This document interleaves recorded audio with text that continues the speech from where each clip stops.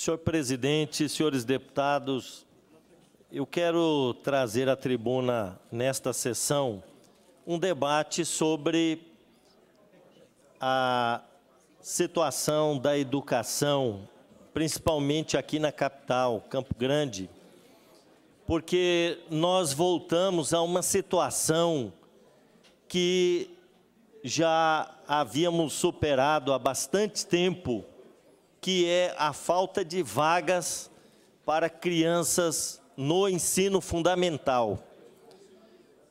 Quando eu fui secretário de Educação no governo Zeca do PT, nós acabamos com as filas nas portas das escolas.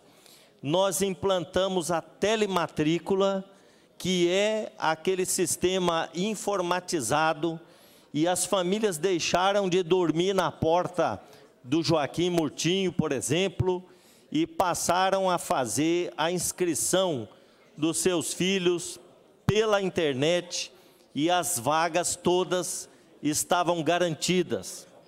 Quero dizer que naquela época nós universalizamos o acesso das crianças ao ensino fundamental. Não havia falta de vagas nesta etapa da educação básica. Coisa que hoje causa espanto. Nós assistimos pela imprensa que 837 famílias estão procurando a Defensoria Pública porque não conseguem encontrar vagas para os seus filhos no ensino fundamental e também na educação infantil. Nós sabemos que na educação infantil ainda haverá falta de vagas, até porque o governo Jair Bolsonaro não repassou nenhum centavo nos quatro anos de administração para a conclusão de 10 CEINFs aqui em Campo Grande, que foram iniciados no governo da presidente Dilma. Nós temos 10 CEINFs, deputado Pedro Ocean pode confirmar isso, que tiveram a sua construção iniciada, porém não foram concluídos, justamente por falta de repasse de recursos da União para a Prefeitura de Campo Grande. Então, nós temos aqui uma demanda reprimida na educação infantil. Agora, no ensino fundamental, que é do primeiro ano ao nono ano, nós não tínhamos mais problema de falta de vagas. Mas agora voltou a acontecer esse problema. Nós estamos com a Defensoria Pública preparando ações civis para entrar na justiça e exigir a vaga desses alunos, até porque é um direito consagrado na Constituição. É obrigatório o ensino fundamental no Brasil. Agora, por que está faltando vaga, se antes todo mundo tinha vaga no ensino fundamental? Acontece que o Estado de Mato Grosso do Sul, ele vem já há algum tempo municipalizando as séries iniciais do ensino fundamental.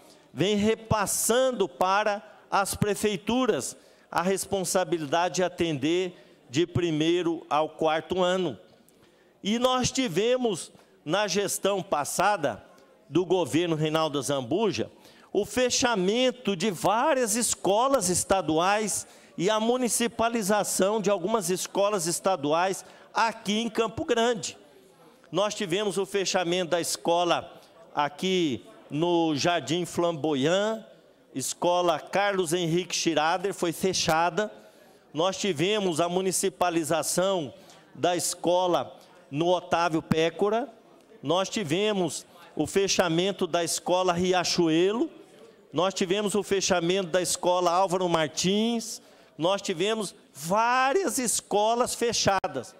O município de Campo Grande não teve condições de absorver essas crianças nas séries iniciais do ensino fundamental. E o que está acontecendo? Crianças sem, sem vaga. Né? Então, isso é um retrocesso. E eu alertei, inclusive, na ocasião do fechamento dessas escolas, que era preciso ter mais critério ao fechar uma escola. Se, se não tem mais demanda, se o número de alunos é pequeno e ele pode ser absorvido por uma escola mais próxima, neste caso, entende-se a necessidade até de fechamento daquela escola para efeito de racionalizar os custos da educação. Agora, sem fazer um planejamento, um estudo mais aprofundado, é temerário que as escolas sejam fechadas assim da noite para o dia. Daí eu defendo a importância de se consultar a comunidade, da Secretaria de Educação abrir um processo participativo para que essas decisões eh, sejam tomadas com responsabilidade. Então, nós não podemos admitir que a Secretaria de Educação não tenha vagas para oferecer a essas crianças do ensino fundamental. É importante, e nós apresentamos hoje aqui, uma indicação que a Secretaria de Educação do Estado entre em contato com a Secretaria de Educação do município e realizem ali ah, entendimentos no sentido de fazer um processo de regime de colaboração que é previsto na LDB, na Constituição, para que Estado e município de Campo Grande possam garantir essas vagas às crianças no ensino fundamental. Se o Estado tem sala ociosa, se o Estado tem é, a, a, a oportunidade de oferecer essas vagas, que seja feito em regime de colaboração com a Prefeitura de Campo Grande para atender essas crianças. O que não pode acontecer é simplesmente transferir a responsabilidade para o outro ente sem que ele tenha condições de atender. É certo que a Constituição diz que a responsabilidade primeira de atender o ensino fundamental é do município, mas não é, não é responsabilidade exclusiva. O Estado não está impedido de atender o ensino fundamental. A Constituição, a LDB, dizem que o Estado tem que se responsabilizar pela oferta do ensino médio do ensino médio, mas ele não está proibido de atender também o ensino fundamental. Então, essa é uma situação que nós precisamos discutir para que não haja criança em idade escolar fora da escola. Né? O ensino fundamental, ele é, tem sido transferido progressivamente para os municípios e nós sabemos que os municípios, eles têm interesse em ampliar a sua rede, porque os recursos do Fundeb, os recursos da educação, eles são repassados de acordo com o número de alunos, né? Nós vimos aí no passado, quando era Fundef, né, só para o ensino fundamental, que havia uma competição até, uma, uh, tinha escola que fazia até show de prêmios, né, para atrair alunos, né? Quanto mais aluno, mais recurso do Fundef o município recebia, né? Aí o que aconteceu é que o Estado foi deixando de atender o ensino fundamental, repassando para as prefeituras. Campo Grande, nós tivemos construção de várias escolas municipais, né, para atender essa demanda. Agora, é, faltou aí um planejamento melhor, e, no caso, em, em entendimento com a Secretaria de Educação do Estado, para que, pelo menos em algumas regiões mais críticas, a gente possa atender essa demanda reprimida. Né? É, 877 alunos que estão sem vagas, esse número comportaria, comportaria uma escola, né? praticamente uma escola. Né? É claro que esses alunos estão distribuídos pela cidade, né? Um na região norte, o outro fica na região sul. Não dá para uma escola apenas atender todo mundo, né? Mas é preciso fazer um levantamento e hoje isso é mais simples, porque as matrículas são informatizadas e você sabe o endereço, aonde é que esse aluno está procurando a vaga, né? Então é possível fazer um planejamento e eu repito aqui, o Estado fechou escolas, e o Estado tem hoje escolas em é, período integral. É possível que o Estado possa readequar a sua rede e atender essa demanda né, de alunos do ensino fundamental, sem que haja necessidade, por exemplo, de construção de escolas. Né? Então, essa é uma situação que nós queremos aqui é, colocar e solicitar ao secretário, professor Hélio, de Educação do Estado, né, que atenda essa necessidade emergencial e nós estamos na primeira semana de aulas, né, para que, de fato, esses alunos possam ser atendidos.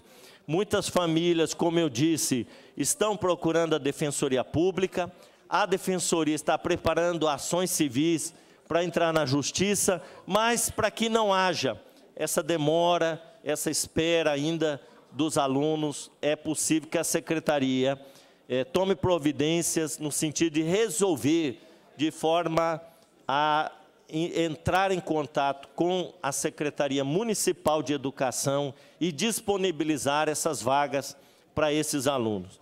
Quero aqui ainda para concluir, chamar a atenção que foi divulgado a nota do IDEB, é, o último IDEB, que é uma avaliação da educação básica, e nós tivemos uma, uma notícia que não é positiva, pelo contrário, nós tivemos uma queda na nota do IDEB das escolas da capital nós tínhamos em 2015, a melhor, 2017, 2019, uma nota de 5,7 e houve uma queda em 2021, o último IDEB, de 5,4, né, que é a mesma nota de 2013. Então, nós também voltamos à, à, à, à avaliação de 2013 da educação básica aqui na capital. Isso também reflete o que? Claro, nós tivemos é, um retrocesso na qualidade, no aproveitamento dos alunos na educação básica. Né? Então, é, eu estou colocando isso para dizer que não basta apenas garantir a vaga para as crianças na escola mas é preciso investir na qualidade da educação que se oferece a essas crianças. Né? E a pandemia foi um desastre na área da educação. Né? Nós tivemos, assim, muitos alunos com dificuldade de acompanhar o processo de, de, de aprendizagem de forma remota. Nós é, tivemos alunos, principalmente nas periferias, das camadas populares, alunos pobres, né, que não têm computador em casa, que não têm um, um celular de qualidade, e esses alunos sofreram muito no período da pandemia, porque eles não conseguiram acompanhar as aulas remotas. Né? Então, houve aí uma defasagem. Imagina uma criança na alfabetização, né? nas primeiras séries aí do ensino fundamental. Como é que você vai alfabetizar uma criança remotamente? Né? Já é difícil presencialmente, né? É, imagine remotamente. Os pais que tinham condições acompanhavam os filhos em casa. Mas e aqueles pais que trabalham fora? A mãe tem que buscar complementação salarial, né? ajudar o marido. A criança tem que se virar sozinha. Né? Então houve uma defasagem na aprendizagem dessas crianças nesse período muito grande, muito grande. Então, nós tivemos aí também um reflexo disso, né? Na nota do IDEB, é, houve um, um recuo nessa nota, enquanto a gente estava numa crescente aí nos últimos anos, né? Então, é preciso também que haja uma prioridade das secretarias de educação no sentido de recuperar essa defasagem da aprendizagem das crianças no ensino fundamental, principalmente. Ensino médio também, né? Muitos alunos estavam aí se preparando para o Enem, para vestibular, e aí no período da pandemia houve aquele, aquele retrocesso, né? Na, na, nas, nas atividades escolares. Então, nós aqui queremos fazer esse apelo, as secretarias têm que desenvolver projetos para é, recuperar essa defasagem na aprendizagem dos alunos. Agora, início do ano letivo, o mais urgente é garantir que todos os alunos em idade escolar tenham a sua vaga garantida na escola. É esse o apelo que nós fazemos ao secretário de Educação do Estado e fica um alerta aqui.